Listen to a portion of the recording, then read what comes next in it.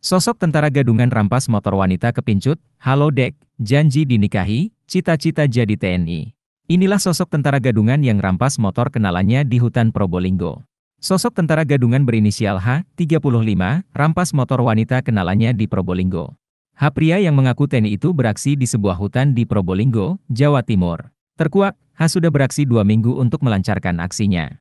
Ia pun melakukan aksinya terhadap wanita berinisial SW, 39, di sebuah hutan jati di Kabupaten Probolinggo. Padahal, H bukan seorang tentara, melainkan TNI Gadungan. Diketahui H berkenalan dengan seorang wanita berinisial SW melalui medsos TikTok. Untuk memperdaya korban, H mengaku sebagai anggota TNI yang bertugas di Komando Distrik Militer, Kodim, 0820 Probolinggo. Sebelum bertemu, H berjanji menikahi SW hingga datang jauh-jauh dari Blitar ke Probolinggo. Kapolres Probolinggo AKBP Wisnuwardana mengatakan, polisi menangkap anggota TNI Gadungan tersebut.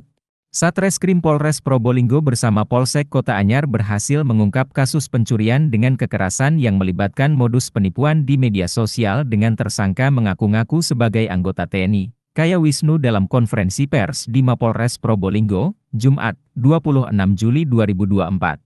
Wisnu menjelaskan, Peristiwa ini berawal ketika korban SW, warga Kabupaten Blitar berkenalan dengan tersangka asal Desa Belimbing, Kecamatan Pakuniran, Kabupaten Probolinggo melalui akun TikTok dengan nama Bim Bim Prasetya. Mereka pun bertemu di Kawedanan Blitar. Pelaku mengajak korban ke Probolinggo dengan alasan akan memperkenalkan korban kepada Komandan Kodim 0820 dan berjanji untuk menikahi korban. Saat perjalanan ke Probolinggo, tersangka hanya membawa keliling-keliling saja hingga akhirnya melakukan tindak kekerasan terhadap korban di hutan jati Kecamatan Kota Anyar, Kabupaten Probolinggo. Pelaku mengambil paksa barang berharga korban termasuk sepeda motor Honda Vario 160, ponsel, cincin, dan uang, ungkap Wisnu.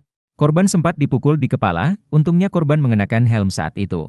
Korban segera melaporkan kejadian ini ke Polsek Kota Anyar.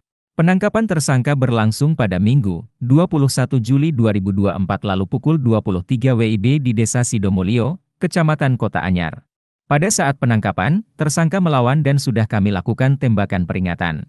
Pelaku terpaksa dilumpuhkan dengan ditembak karena masih tetap melawan, tambah Wisnu. Berdasarkan keterangan pelaku, ia baru satu kali melancarkan aksinya dan sudah mengaku sebagai TNI gadungan selama dua minggu.